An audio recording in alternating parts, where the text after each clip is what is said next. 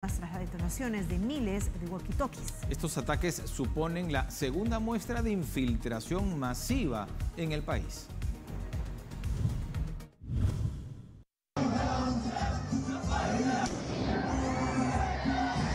Despedían a las víctimas mortales de las explosiones en Vipers cuando de pronto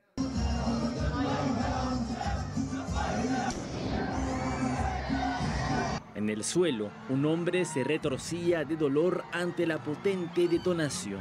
24 horas después de los numerosos estallidos en Líbano, nuevamente el horror se desató.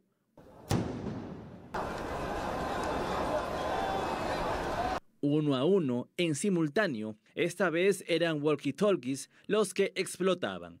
Las detonaciones ocasionaron incendios en más de 60 edificios, así como en 15 coches y motocicletas.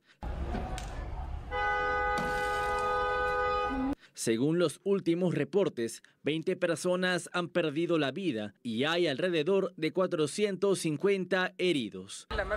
La situación es alarmante, en particular porque se han reportado explosiones similares en Saida y otras zonas simultáneamente. El grupo Hezbollah ha atribuido el ataque a Israel, que ha extendido sus objetivos de guerra a la frontera con Líbano. Creo que es muy importante que haya un control efectivo de los bienes civiles, no convertirlos en armas. Esa debería ser una norma que los gobiernos deberían poder aplicar en todo el mundo. Al igual que el primer ataque, Estados Unidos negó estar involucrado.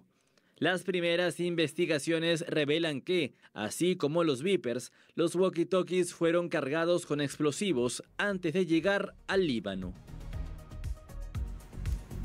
Nueva pausa en el programa y regresamos con detalles de la operación Leo.